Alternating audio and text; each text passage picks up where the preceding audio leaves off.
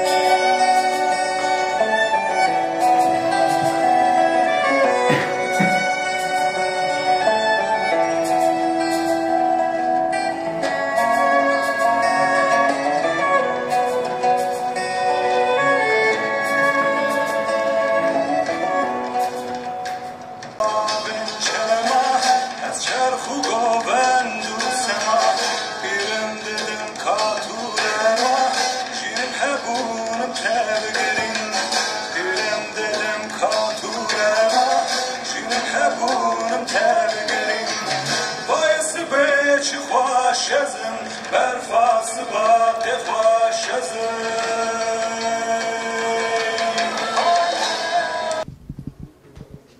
Değerli basın emekçileri, sevgili arkadaşlar hepinizi sevgiyle, saygıyla selamlıyorum. Bugün İHA'denin kuruluş yıl dönümü ve İHA'denin yeni yaşı kutlu olsun. Daha büyük başarılara, daha büyük e, umutla mücadeleye vesile olmasını diliyorum bugünkü bir aradalığımızın da. Biraz önce Sinevizyon'u izlediğimizde gerçekten son yazıyı okumadan önceki bende uyandırdığı duygu tam da son cümlelerde Sinevizyon'un özetlediği cümleler. Bunlar sadece İnsan Hakları Derneği'nin tarihi değildi bu belgesel. Bu burada şu an izletilen Sinevizyon aynı zamanda Türkiye'nin insan hakları karnesinin belgeseliydi, belgeleriydi.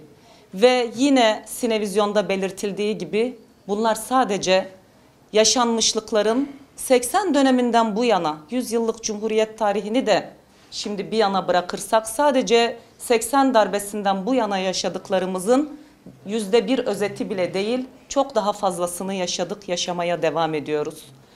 İnsan Hakları Derneği benim de iki dönem yöneticilik, yöneticilik yaptığım bir dernek ve bunu büyük bir onurla, büyük bir gururla yürüttüğümüz bu çalışmada bizler de çok şey öğrendik.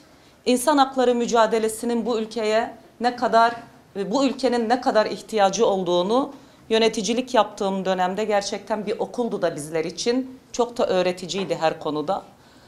Ve burada ben Sinevizyonumuzda da vardı e, Vedat Aydın'dan, Ayşe Zarakoğlu'dan onları saygıyla, onları umutla ve dirençle anıyorum. Biraz önce Öztürk hocama anlatıyordum. Dün akşam telefonum çaldı ve İHA'de uzun yıllar ve ömrünü bu mücadeleye adamış olan yine Sinevizyonumuzda vardı sevgili Hatice Can. Onun ismi göründü telefonumda ve ben çok şaşırdım. Oğlu arıyordu ve oğlu kendi telefon numarasını almış. Hatice Can kaydı olduğu gibi bizde duruyor ve onun telefonundan aranmış oldum ben dün. Hatice abla ve Mithat abi için bir kitap hazırlanıyor.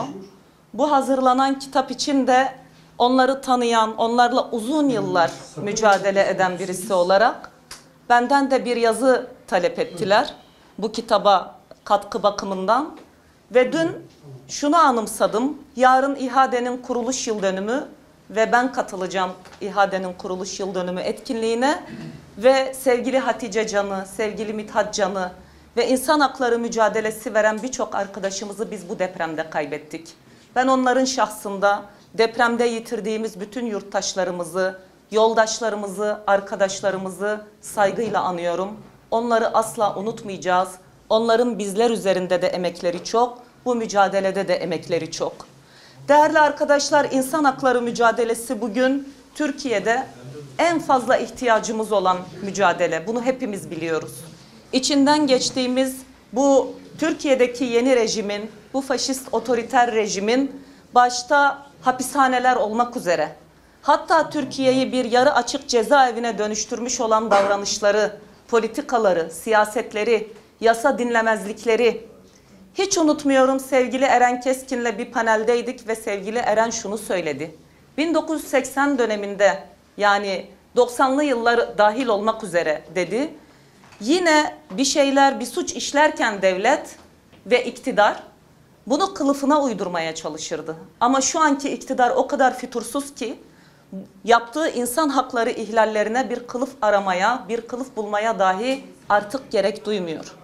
Artık bu ülkede açık faşizmden bahsedeceğimiz bir dönemden geçiyoruz.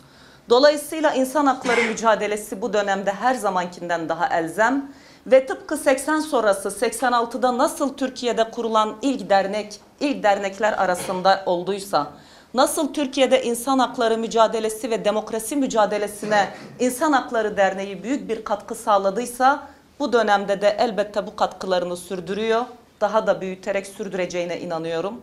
Ben e, bu duygu ve düşüncelerle yeni yaşınızı, yeni yaşımızı bir kez daha kutluyorum ve dayanışarak bu ülkede barışı, bu ülkede adaleti, kardeşliği ve demokrasiyi tesis edeceğimize, mücadelemizi daha büyüterek ve daha büyük bir cesaretle, daha güçlü bir şekilde tesis edeceğimize olan inancımla hepinizi sevgiyle, saygıyla selamlıyorum.